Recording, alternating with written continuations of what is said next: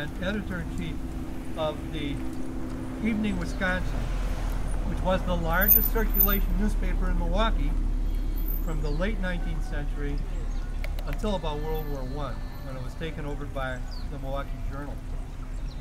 Uh, I'm originally from New York State, Saratoga County, the town of Waterford. My parents, Hannah and John Kramer. My father, John, was actually an elector